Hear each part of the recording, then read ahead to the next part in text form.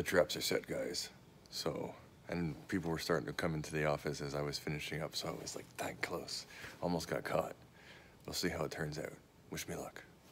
Peace.